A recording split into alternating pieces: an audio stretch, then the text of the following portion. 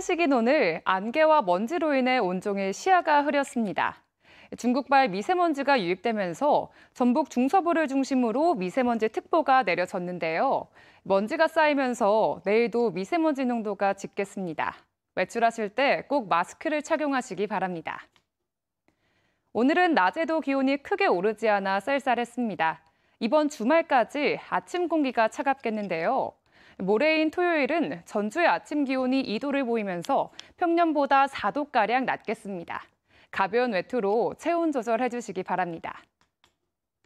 비는 오늘 새벽까지 약하게 이어지겠고요. 내일 오후에도 빗방울이 떨어지는 곳이 있겠습니다.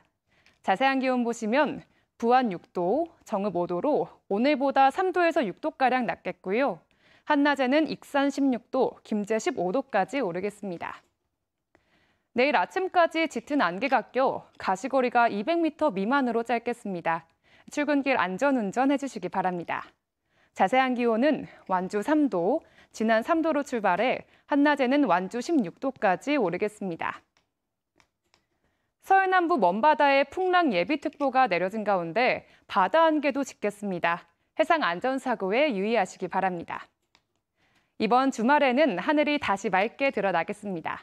다만 낮과 밤의 기온차가 큰 만큼 환절기에 감기 들지 않도록 건강 잘 챙겨주시기 바랍니다. 날씨였습니다.